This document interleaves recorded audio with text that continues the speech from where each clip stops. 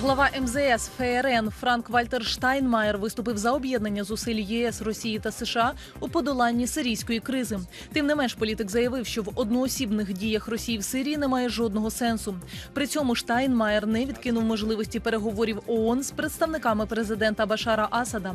У той же час міністр оборони ФРН Урсула фон дер Ляєн заявила, що позитивно розглядає участь Росії в боротьбі з терористичною організацією Ісламська держава.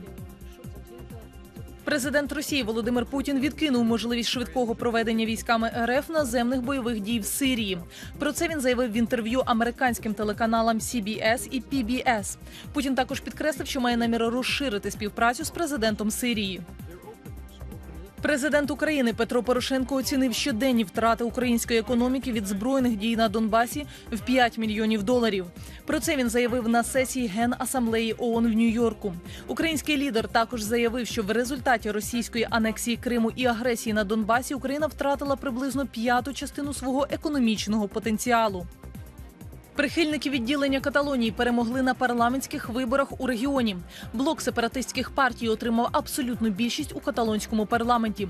Глава регіональної влади Артур Мас має намір протягом 18 місяців досягнути відділення Каталонії від Іспанії.